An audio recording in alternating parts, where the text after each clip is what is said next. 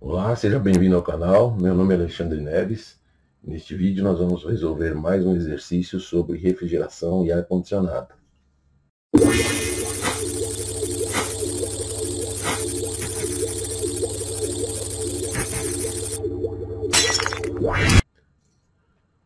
Considerando um ciclo de refrigeração com fluido R134A, com um condensador a uma pressão de 1000 kPa e o evaporador a 4 graus Celsius, qual deve ser o COP para atender uma carga de resfriamento de 400 kW?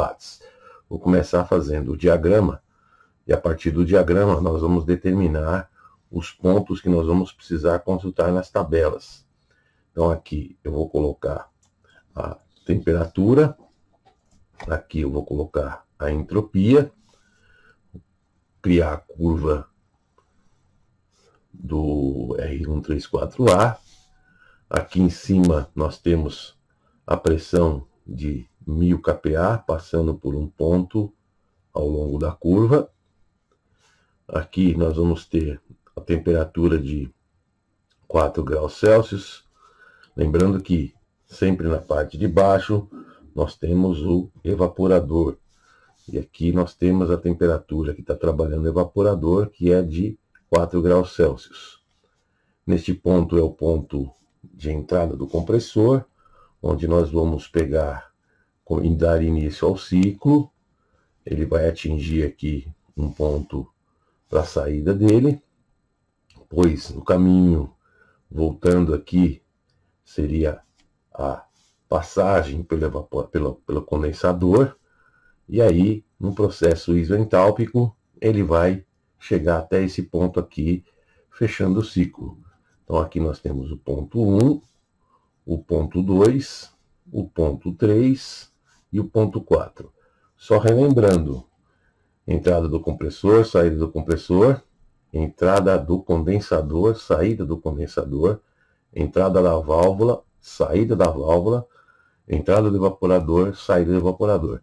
Então esse é o caminho que ele vai seguir para poder completar o ciclo. Agora nós vamos começar com o ponto 1, onde ele fala que a temperatura ali é de 4 graus Celsius. Aqui em cima nós temos a pressão, vamos indicar aqui, de 1000 kPa. Precisamos descobrir em que ponto também está essa temperatura. Então, no compressor entrada, 4 graus Celsius. Então vamos lá procurar qual é a condição da entrada do compressor, tabela de vapor saturado, nós vamos encontrar que para 4 graus Celsius não existe aqui o valor, então nós vamos já fazer uma interpolação. Então, essa interpolação nós vamos usar temperatura, vamos usar a pressão, usar a entalpia e também a entropia. Então, para o que nós temos aqui na tabela, é 0 graus Celsius e 5 graus Celsius.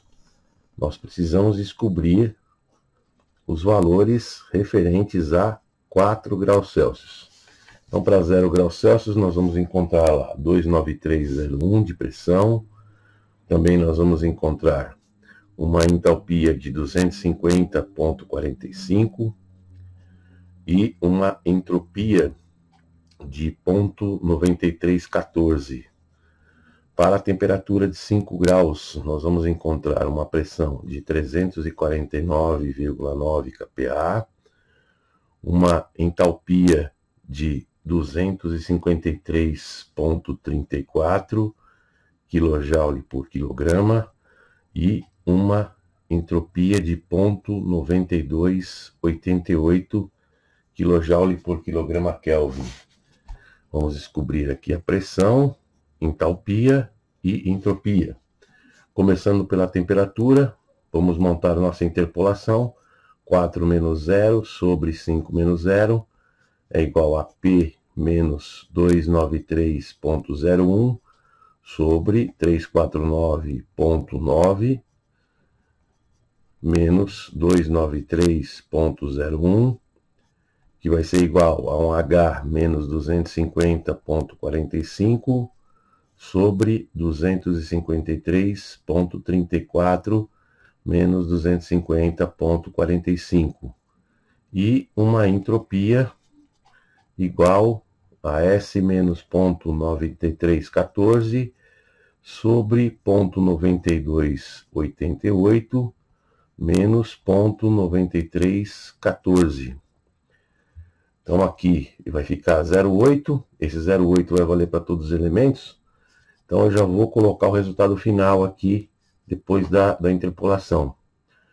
Vai chegar numa pressão de 338,522 kPa.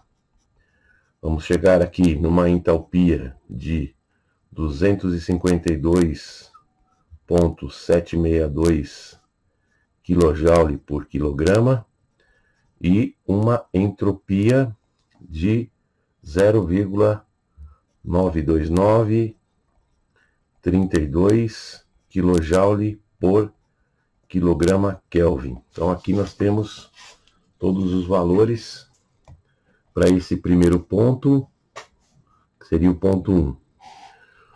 Para o ponto 2, então aqui o ponto 1, ponto 2, é um processo isentrópico, então ele vai ter a mesma entropia, porém com uma pressão de 1000 kPa.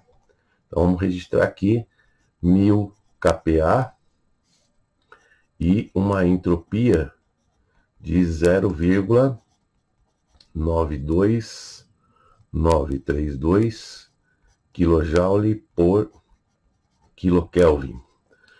Vamos agora na tabela de vapor superaquecido. Para 1000 kPa, nós não vamos ter o valor referente a essa pressão.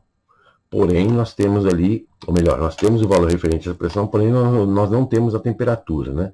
nós vamos ter que fazer uma interpolação, porque nós temos aqui ponto 9179 e ponto 9525.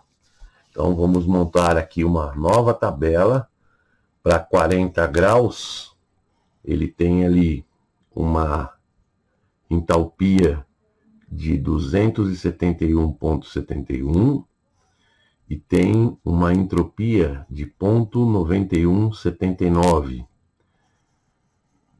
Pois temos que determinar essa temperatura T, aqui o nosso H, aqui eu já sei que é 0.92932 que seria a entropia, por esse ponto. E temos aqui para 50 graus uma temperatura, uma pressão de 1000 kPa, 50 graus. Ele tem ali uma entalpia de 282.74 com uma entropia de 0.9525. Montando aqui, vai ficar um T menos 40 sobre 50 menos 40 é igual a um H menos 271,71 sobre 282,74 menos 271,71, que vai ser igual a 1,92932 menos 0,9179 dividido por 0,9525 menos 0,9179, que vai resultar numa temperatura de 43,3 graus Celsius e uma entalpia de 275,35 kJ por quilograma. Isso aqui são valores referentes ao ponto 2. Então nós já descobrimos qual é a temperatura que nós temos nesse ponto aqui, que é de 43,3 graus Celsius. Agora, para o ponto 3, pode ver que é um ponto de líquido saturado. Então, nós vamos ter que fazer a pesquisa lá na tabela de líquido saturado. Eu vou marcar aqui o ponto 3. Vou colocar ele aqui. E nós vamos ver que ele está numa pressão de 1000 kPa. Porém, nós precisamos saber qual é a condição do líquido saturado. Vamos de novo lá na tabela de vapor saturado, uma pressão de 1000 kPa. Nós não temos essa pressão de 1000 kPa aqui, né? Mas nós temos lá 1017,14 e temos 887,47. Então nós vamos ter que fazer uma interpolação aí da região, né? Então vai ser de 35 graus. Ele vai ter uma pressão de 80, 887,47. 887,47 com uma entalpia de 100,86. Aqui nós queremos descobrir essa temperatura. Nós temos a pressão aqui que é de 1000 kPa. Precisamos descobrir aqui essa outra entalpia, que é a entalpia de líquido. E para 40 graus, nós vamos ter uma pressão de 1017,14, com uma entalpia de líquido de 108,26. Então, agora nós podemos aqui montar a interpolação T menos 35 sobre 40 menos 35 é igual a 1000 menos 887,47 sobre 1017,14 menos 887,47 e o H menos 100,86 sobre 108,26 menos 100,86. E aqui nós vamos encontrar uma temperatura 39,33 graus Celsius, seria a temperatura de saturação, que seria a temperatura no ponto 3, e a entalpia vai ser de 107,282 kJ por quilograma. Então, essa aqui seria a entalpia do ponto 3 e também a entalpia do ponto 4, porque aqui nós temos um processo isoentálpico. Com isso, nós já conseguimos resolver aí o, o nosso ciclo. Então, começando ali na condição que ele fala da carga de resfriamento, é de 400 kW. Resfriamento nós vamos analisar aonde? Nós vamos analisar aqui embaixo. Então, que seria a carga do evaporador. É igual a vazão em massa vazão em massa vezes H1 menos o H4. Ele já dá aqui 400 kW. Aqui eu vou ter que encontrar primeiro qual é a vazão em massa. Então, H1 nós já temos ali 252.762 menos H4 que é de 107,282. Lembrando que é a mesma entalpia. Então aqui nós vamos encontrar qual é a vazão em massa desse fluido. E essa vazão em massa vai ser igual a quanto? É uma vazão em massa de 2,7495 kg por segundo. E aí nós podemos encontrar qual é o trabalho aqui, né, a potência na turbina. Então, a potência na turbina, ela vai ser igual a vazão em massa, vezes a saída aqui, que é H2, menos H1. Então, com essa vazão em massa de 2,7495, o H2, ele foi dado, foi calculado aqui na interpolação, né? 275.35 menos o H1, que é de 252.762. Isso aí vai dar uma potência para a turbina de 32,106 kW. O COP ele vai ser o valor do calor que nós temos ali no evaporador, que seria a carga, dividido pela potência da, do compressor. Se eu falei turbina, eu falei errado, é compressor. Então, no compressor, nós temos lá 62.106. O valor que foi dado para a carga de resfriamento é de 400.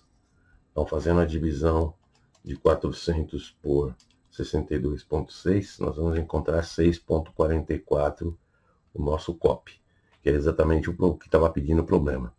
Detalhe importante, nem precisaria estar calculando essa vazão em massa, só que eu procurei, só coloquei aqui se, por exemplo, o exercício pedisse essa vazão em massa. Para você calcular o COP, observa que você só vai precisar ali fazer uma deduçãozinha, né? COP é quem?